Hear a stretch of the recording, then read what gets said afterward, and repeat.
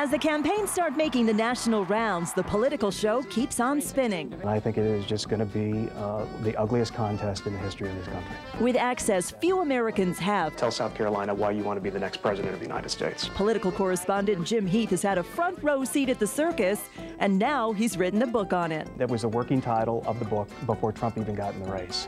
And Trump has only added to the uh, fun. Jim Heath from Ohio News Network. The former news anchor covered South Carolina in 2008 and Ohio in 2012 and says his book gives politicos inside information about the candidates. I kind of explain the process of what it's like to be ground zero in one of these presidential campaigns and see all of the spinning that's going on and with social media today, just how that takes over. I think he's a very unstable guy. At first, he thought Trump was making a mockery of the presidential race. Now, not so much. If he wins South Carolina tomorrow, I think he'll be the Republican nominee.